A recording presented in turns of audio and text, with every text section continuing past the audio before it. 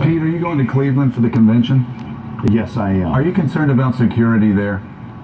You know what I'm concerned about is that that we would not go and do our job and responsibility. As you know, from the time I was chairman of the National Republican Congressional Committee, our job was to go talk to America about the kind of America we would have.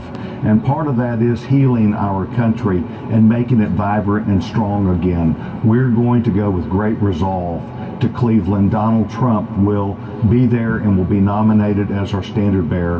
And we must stand and, and be strong about making America great again. If we are weak at home, we are weak around the world. And this is an example of a weakness when our president goes overseas and has a terrible So- tragedy like this Here's- is an idea why we've got to solve ourselves. You are standing